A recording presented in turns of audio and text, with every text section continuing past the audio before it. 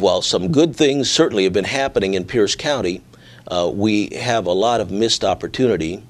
Uh, I'm very excited about such things as the Early uh, Learning Initiative, the consortium that's that's been formed, that we would begin to address uh, people issues here in Pierce County.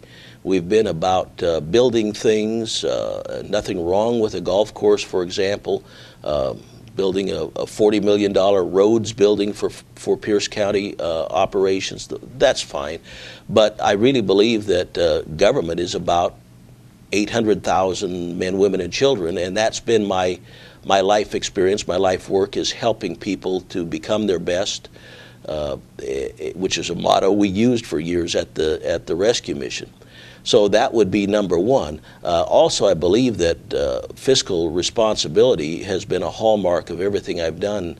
Uh, people may notice that Tacoma City government uh, is not in the financial straits that Pierce County government is in. We are not in a layoff mode.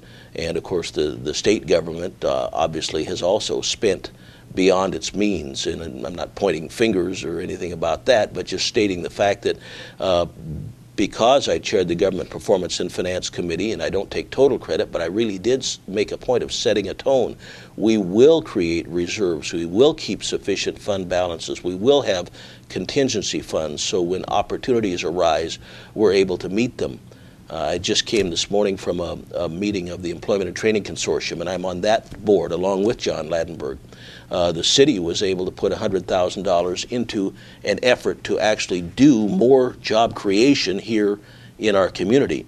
And it's money that will be leveraged into a, a $3.5 million uh, campaign over the next four years. The county wasn't able to put anything in because they just don't have it. And that's not a good place for a government to be, to, to not be nimble and not have that flexibility. Well, that has something to do with the county's tax base, don't you think? Well, that's true, but it, uh, you, you, certainly have to uh, budget and spend within your means. I, I see, uh, I mean, the, the fact that the county, I don't know if they're going to change this now that they're short of funds, but they've had a, a million dollars available for uh, divvied up among the seven county council members to simply spend in their districts. And one could argue they use it to, to curry favor or buy support uh, in their districts. They do a lot of good things with it. But uh, what is the oversight? What is the accountability for a process like that?